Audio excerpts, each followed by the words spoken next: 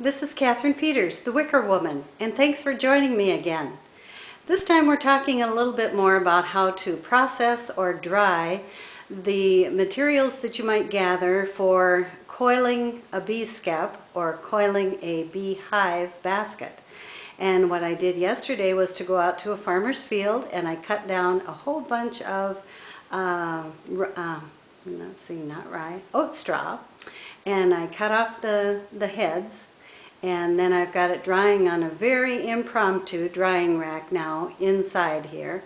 My husband had some uh, shelving units, some uh, left over and he allowed me to use them for my drying rack and I put a chair on either end and in just a second I'll show you the final finished product. Just a second. Here we go. There's the chair and the, the rack is underneath here. It's a metal um, shelving unit I don't know if you can see it or not. It doesn't make any difference.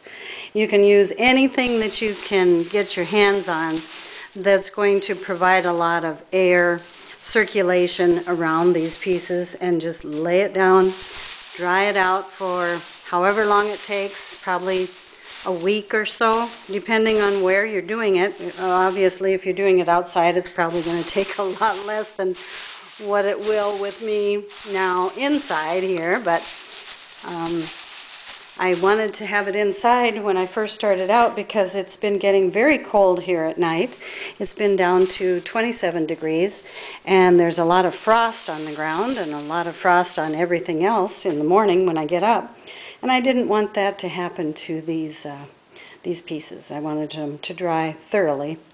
And then once they're dried, I can bundle them up and stand them on the butt end, this end, and they'll keep for a long period of time, just so long as they don't get moldy or mildew on them.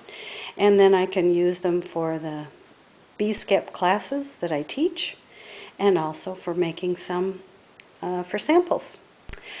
Well, thanks for watching again, and pretty soon we'll get to actually coiling those bee skeps.